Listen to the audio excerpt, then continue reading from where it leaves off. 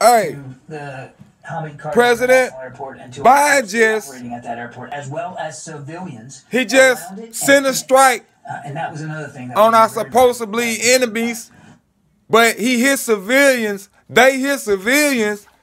Strike trying to.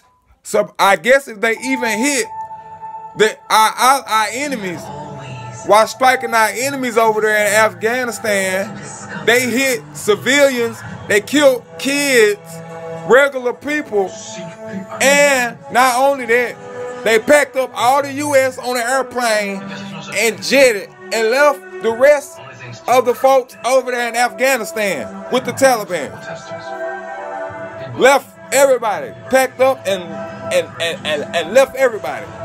Let's see what's out there. They do they right now the U.S. is sending strikes over there, hitting the enemies, killing killing innocent folks, killing kids, hitting kids, and they packed up and they they ran. They flew back here. They back. They came back here and left the rest of everybody else.